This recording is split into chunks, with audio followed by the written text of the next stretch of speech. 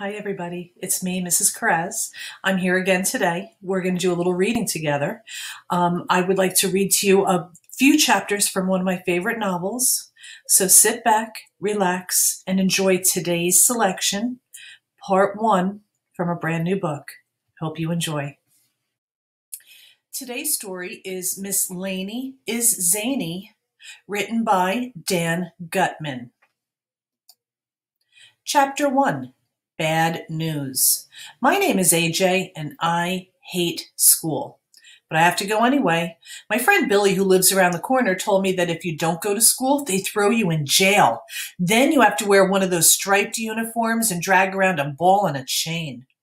I go to elementary school, and my teacher is Mr. Granite, who's from another planet. It was Monday morning, and the girls were talking about silly girl stuff like how many stuffed animals they have on their beds.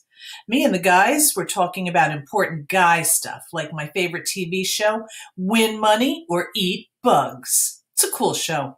You have to answer a bunch of questions. If you get them right, you win money. If you get them wrong, you have to eat bugs. So Win Money or Eat Bugs has the perfect name. Some people win money, but most people have to eat bugs. That show is hilarious. After we put our backpacks into our cubbies, the school secretary, Mrs. Patty, made an announcement over the loudspeaker. We had to go to the all-purpose room for a surprise assembly. Why are we having an assembly? asked Andrea Yang, this annoying girl in my class with curly brown hair. Beats me, said her crybaby friend Emily. Everybody was in the all-purpose room. Miss Lazar, the custodian, Ms. Lagrange, the lunch lady, even Mr. Tony, who runs the after-school program, was there. I could tell it wasn't a normal assembly. We were all buzzing about what was up. We had to sit crisscross applesauce. Finally, our principal, Mr. Klutz, got up on the stage. He has no hair at all. I mean, none. They should use his head to bounce laser beams around the world. Mr. Klutz held up his hand and made a peace sign, which means shut up. I have bad news, Mr. Klutz said. Mr. Klutz has a bad nose, I whispered to my friend Michael, who never tied his shoes. As you probably heard from your parents, Mr. Klutz told us, the economy is in bad shape. We have been trying to save money ever since our budget was cut, but last night I got a call from the Board of Education. I'm sorry to tell you this, but elementary school will be closing in June. Everybody laughed. Mr. Klutz is so funny. It's not a joke, he added. Suddenly, it was quiet in the all-purpose room. You could hear a pin drop. Do you mean the school will close for a few weeks? asked Mr. Granite. No, Mr. Klutz replied. The school is closing forever. Forever? Forever. I looked at Michael. Michael looked at Ryan. Ryan looked at Neil, who we call the nude kid even though he wears clothes. Then we all jumped out of our seats at the same time. Yeah, me and the guy shouted, no more school.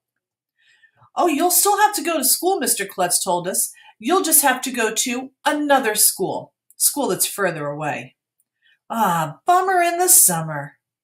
Will the teachers be fired? asked Mr. Granite. I'm afraid so, said Mr. Klutz. The whole staff will lose their jobs, and that includes me. We're all in the same boat. I looked around. I didn't see a boat anywhere. What do boats have to do with it? I asked. That means we're all in this together, Arlo, whispered Andrea. She calls me by my real name because she knows I don't like it. There will be more budget cuts between now and June, Mr. Klutz said, so we all have to tighten our belts. Does anybody have any questions? What if you don't wear a belt? I asked. Tighten our belts means we have to save money, dumbhead, Andrea whispered, rolling her eyes. Your face needs to save money, I told her. I hate Andrea. Isn't there anything we can do? asked Mr. Granite. I'm afraid not, Mr. Klutz said. It will cost a million dollars to keep the school open. Wow, everyone said, which is mom upside down. We all started buzzing again. The teachers looked worried. A few first graders started crying. It was the saddest day in the history of the world. Chapter 2 The Mystery of the Girls' Bathroom.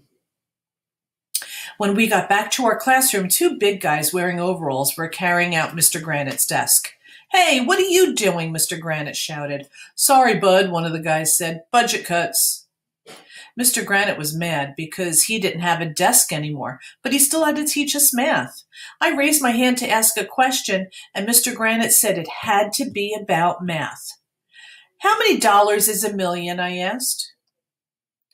Well, let's say you have one dollar, Mr. Granite told me, and then you get a million more dollars. Then you'd have a million dollars. Hmm, that made sense. No, you wouldn't, said Andrea. You'd have a million and one dollars. Andrea had a big smile on her face, like she was all proud of herself. Why can't a million dollars fall on her head? A million dollars in coins. We were all sad about the school closing down. Mr. Granite wasn't in a good mood to teach, and nobody was in the mood to learn anything, not even Andrea. Luckily, we had class on Mondays. We walked a million hundred miles to the art room. Miss Hannah, the art teacher, was cutting a piece of cardboard into a bunch of tiny little squares. What are we doing in art today? asked Emily. Because of the budget cuts, I can only use one sheet of cardboard for the whole class, said Miss Hannah. So today we're going to make postage stamps. Postage stamps, we all asked. We all have to do our part to save money, she said. I made a little frowny face on my stamp, and there wasn't room to draw anything else. Making postage stamps in art class is lame. When we got back to Mr. Granite's room, Mrs. Patty made an announcement over the loudspeaker.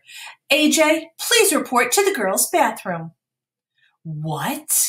I thought I was going to die. Ryan, Michael, and Neil thought it was hilarious. They were falling off their chairs. AJ has to go to the girls' bathroom, Michael said. He must be a girl. There must be some mistake, Mr. Granite said. Well, I'm not going to the girls' bathroom, I announced. What if there are girls in there? Of course there will be girls in there, Andrea said. It's the girls. She didn't have a chance to finish her sentence because Mrs. Patty made in another announcement. Ryan, please report to the girls' bathroom. What? Well, I'm not going to. Ryan didn't have a chance to finish his sentence because Mrs. Patty made another announcement. Andrea, please report to the girls' bathroom. What? And then Mrs. Patty made another announcement. Emily, please report to the girls' bathroom.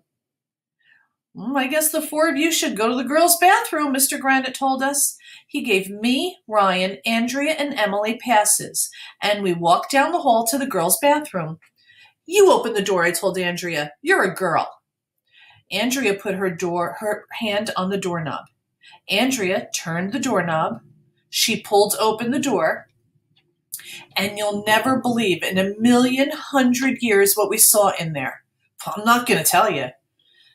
Okay, okay, I'll tell you. But you have to read the next chapter first. So na na na boo boo on you. And that's it for today. Miss Laney is zany. Well, that's all we have time for for today. Next time, we'll read a little bit more of our book together. I hope you're enjoying so far. Um, I would like you to use whatever time you have left to explore this week's choice board. And we'll be exploring um, things around the subject of back to school. All right, so there's plenty of things for you to do there. You can take a virtual field trip. You can do some art, some music. Um, you can get out of your seat and stretch for a little while. There's lots of really cool activities. So I hope you use this time to explore your choice board, find something that interests you, and welcome back to school. I'll see you next week.